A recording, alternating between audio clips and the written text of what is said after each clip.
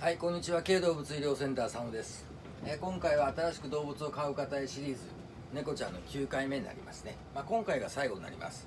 で今回はですね猫ちゃん新しく飼う方へえーっと手入れのお話ですね。日々の。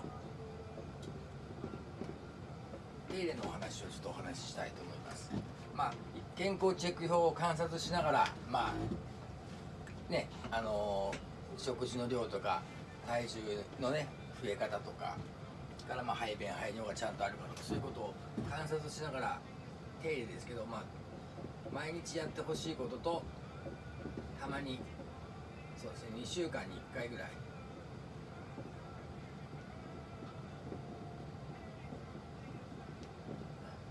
2週間に1回やってほしいことと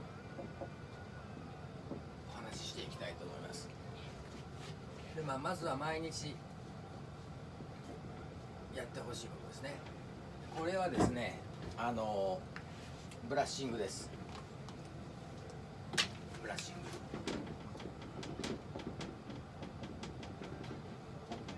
だから体のブラッシングとあとは歯ですね。デンタルケアと。これは毎日やってください。でまああのよくこっち私は保湿剤ちょっと今ないけど保湿剤を出して、まあ、全身にかけてそれで、まあ、こういう目の細かいコームを使ってねブラッシングすると。で若い子は生後6ヶ月前の子はまだそんなに抜けませんブラッシングしても。だけども半年過ぎてくると季節の変わり目にはすごく毛が抜けますんで猫ちゃんの場合は。だからもう生後、ね、2, 2ヶ月3ヶ月ぐらいからブラッシング要は体にね肛門を入れることに慣れてもらった方がいいかなと思います。ぜひとも。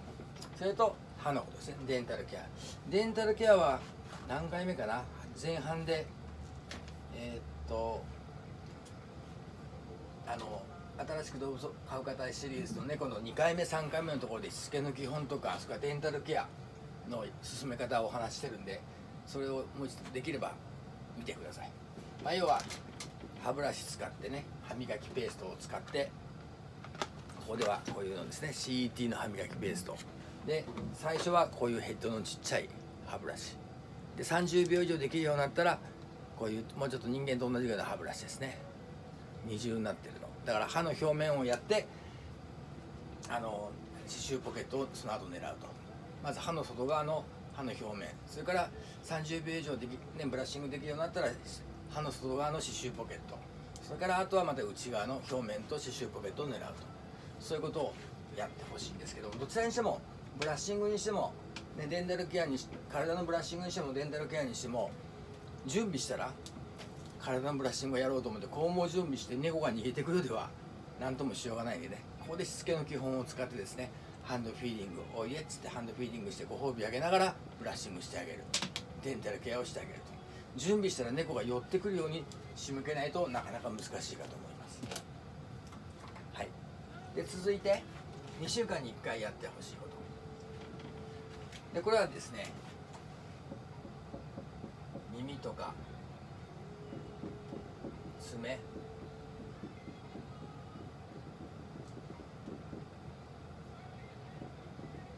肛門腺の手入れですね。ちょっとこれはちょっと。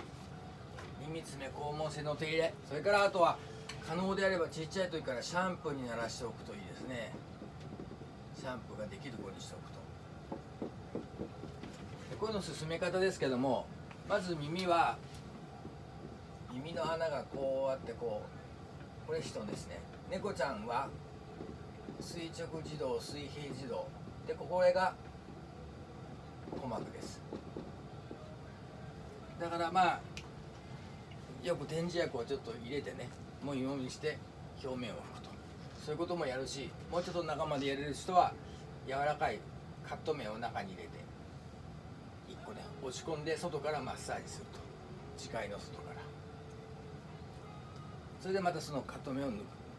取り去ると。そんな風にして掃除します。そんなしょっちゅうはしなくていいです。2週間に1回。まあ中までというよりも視界耳の表面だけやってもらえればいいんですかね。で爪。爪は肉球があってこう爪があります。